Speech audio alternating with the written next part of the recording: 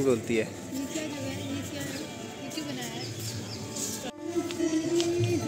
जलियांवाला बाग हत्याकांड की भूमिका उस समय बननी शुरू हुई, जब अंग्रेज़ों ने रॉलेट एक्ट लगाया और देश भर में इसका विरोध शुरू हुआ। वो तारीख थी 10 अप्रैल, रॉलेट एक्ट का विरोध चल रहा था और अंग्रेज़ों ने इस एक्ट के विरोध करने के लिए सैफुद्दीन किचलू, डॉक्टर सत्यपाल को गिरफ़्तार कर लिया गया। रॉलेट एक्ट को उस समय का काला कानून कहा गया था। इस कानून का विरोध महात्मा गांधी ने भी किया था और इसके पास होते ही पूरे देश में इसका ज़बरदस्त विरोध गया।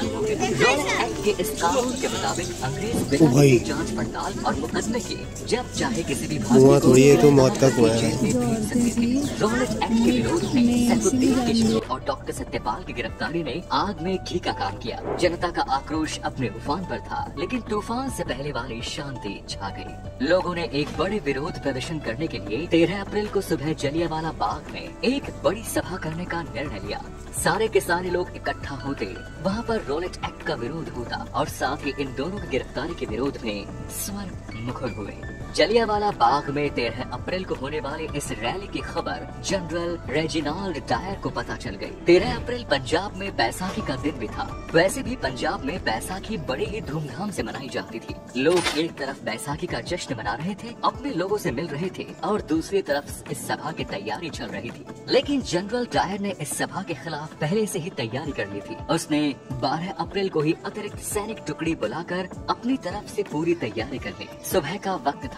लोग बैसाखी के त्योहार के चलते खुशियाँ मना रहे थे और अपनों से मेल मिलाप करने के बाद लगभग पच्चीस हज़ार लोग जलियांवाला बाग में आम सभा के लिए इकट्ठा हो गए। इधर जनरल डायर भी अपनी पूरी सैन्य टुकड़ी लेकर जलियांवाला बाग की तरफ़ चला गया। जलियांवाला बाग में भीतर जाने का एक ही रास्ता था। लोगों की शहर सभा हो चुकी थी और उन्हें मालूम भी नहीं था कि कब जनरल डायर अपनी पूरी की पूरी सैन्य टुकड़ी लेकर अंदर दाखिल हुआ और उसने जलियांवाला बाग के मुँह पर तोप रखकर उसने बंद कर दिया। इसके बाद अपने सैनिकों की पोजीशन लेने के बाद जनरल डायर ने सीधे लोगों पर फायर का आदेश दे दिया। बिना किसी चेतावनी के, बिना एक शब्द बोले जनरल डायर के आदेश का पालन करते हुए सैनिकों ने अपनी अपनी बंदूकों का मुँह खोल दिया और लगातार गोलियाँ लोगों पर बरसने लगी। जलियांवाला बाग में जनरल डायर पचास राइफल और इतनी ही खोखरी लेकर पहुँचा था। इसका मतलब है कि वो पहले से डिसाइड करके आया था कि उसे क्या करना है। जवानों ने इस दौरान लगभग 10 मिनट में 1600 राउंड फायर किए। लोगों को न संभलने का मौका मिला और न बचकर भागने का। जवान बिना रुके लगातार फायरिंग कर रहे थे। जनरल डायर ने आदेश ही कुछ ऐसा दिया था। फायरिंग केवल बंदूक में गोली लोड करने के दौरान ही धीमी पड़ती थी। वरना यहाँ मौजूद जवान लगातार लोगों पर फायर कर रहे थे। लोगों में अफरा तफरी मच गई। वहाँ मौजूद महिलाएँ, बच्चे, बूढ़े और जवान सभी अपनी अपनी जान बचाने के लिए वहाँ से भागने लगे। लोगों ने वहाँ मौजूद कुएँ में कूद कर अपनी जान बचाने की कोशिश की। लेकिन कोई फ़ायदा नहीं हुआ। कुछ लोग दीवार फाड़ कर भाग जाना चाहते थे, मगर उसका भी कोई फ़ायदा नहीं हुआ। जनरल डायर के सैनिकों ने हर किसी को चुन चुन कर मारने की कसम खा रखी थी। बाघ के जिस कुएँ में कूदकर लोग अपनी जान बचाना चाह रहे थे, उसमें से 120 इंसानों की लाशें निकाली गई। वहाँ कुआँ कूदकर मरने वाले लोगों के खून से भर गया। कुएँ को आज भी खूनी कुएँ के नाम से जाना जाता है, और इतना ही नहीं, इस बाघ के दीवारों पर आज भी उस समय की गोलियों के निशान मौजूद है। लगातार 10 मिनट हुई इस अंधाधुंध फायरिंग के बाद जनरल डायर राक्षसों की तरह हंसता हुआ वहाँ से बाहर चला गया। इतना ही नहीं, अमृतसर की सड़कों पर जो भी भारतीय उसे नज़र आता, वो उसे भी गोली मार देता।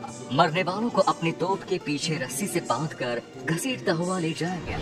इस हत्याकांड के बाद अंग्रेज़ सरकार ने अपने आंकड़े जारी किए। उन आंकड़ों के मुताबिक इस नरसंहार में तीन लोगों की मौत हुई, लेकिन मरने वालों की असल संख्या कुछ और भी थी। हकीकत में इस हत्याकांड में हज़ारों लोगों की जान गई थी। इस दिल दहला देने वाली घटना ने पूरे देश को हिला कर रख दिया। चारों तरफ़ इस घटना की निंदा होने लगी और इस घटना की जाँच का जिम्मा लेफ्टिनेंट माइकल और ड्वायर को दिया गया। गोली चलाने वाले जनरल डायर ने अपनी सफ़ाई में कहा कि गोली चलाना उसकी मजबूरी बन गई थी। उसे अपने कर्तव्य का पालन किया। अगर वो गोलियाँ नहीं चलवाता तो वहाँ मौजूद भीड़ उसे ही मार देती।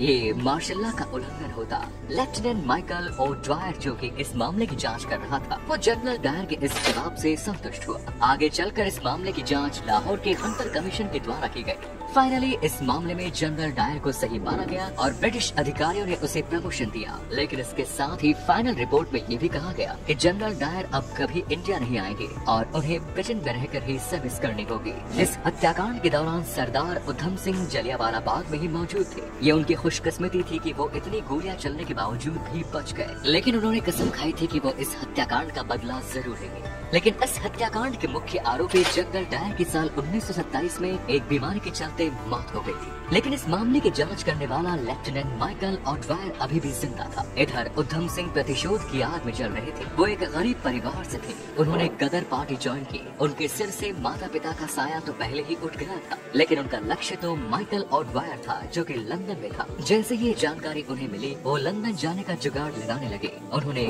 बढ़ई का काम करना शुरू किया और कुछ पैसे इकट्ठा करने लगे। पैसे इकट्ठा करके वो अमेरिका गए। अमेरिका के बाद वहाँ से लंदन पहुँच गए। लंदन में वो एक रेस्टोरेंट में काम करने लगे। रेस्टोरेंट में काम करते हुए पैसा जमा कर रहे थे, ताकि एक पिस्टल खरीद सके। इतने सब काम करने के चक्कर में उधम सिंह को पूरे इक्कीस साल लग गए। आखिरकार फाइनली वो समय भी आ गया जब उधम सिंह अपने लक्ष्य के करीब पहुँचे। साल 1940 में लंदन के क्रैक्सटन हॉल में ईस्ट इंडिया एसोसिएशन और रॉयल सेंट्रल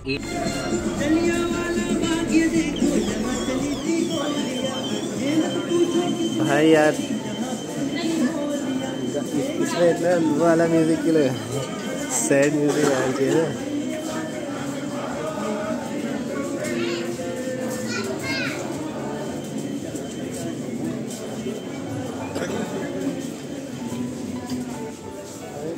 अच्छा अच्छा अच्छा अच्छा।